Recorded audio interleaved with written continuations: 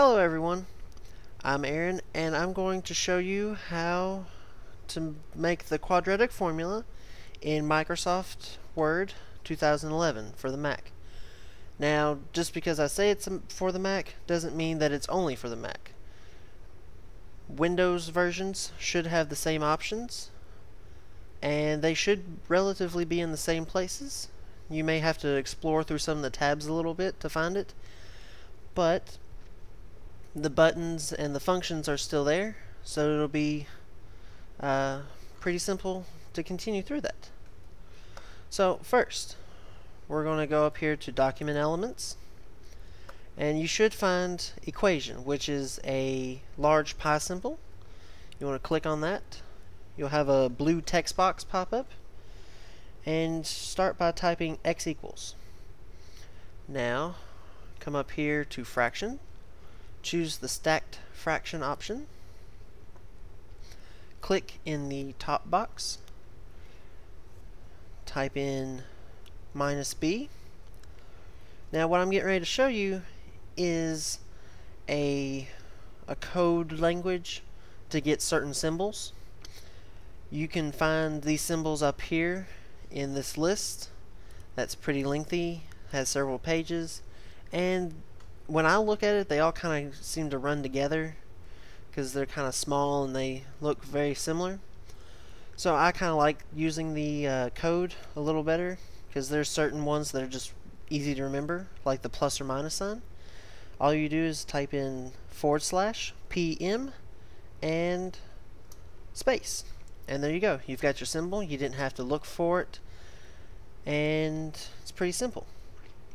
For the complete list of uh, text code that you can put to make symbols, look for the document above this video. And it's pretty extensive.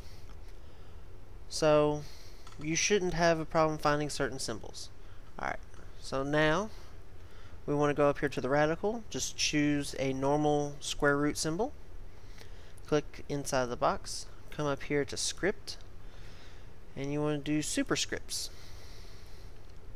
Click in the larger box, type in B, arrow over, type in 2, arrow over once more, because if you don't, it'll continue to input whatever you type as an exponent, and that's just not what you want to do.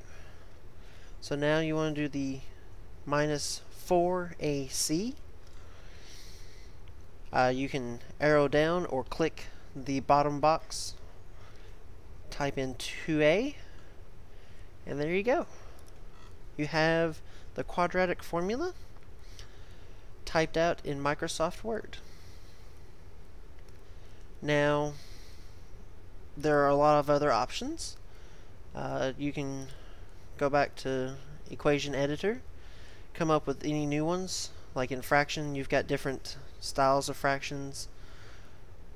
Uh, you've got the small fraction of the same thing, but uh, the larger one is easier to see. You even have common fractions, like pi over 2. Your scripts, um, for the most part, I've never used uh, these two scripts over here called the superscript or subscript superscript. But subscripts and superscripts are what you'll probably use. Uh, you can do different radicals. You can put in brackets of different shapes and sizes. You can do functions such as trig, inverse. see, you can do limits and even matrices. So just kind of get on here, explore, see what you can find out, and that'll be all for this video.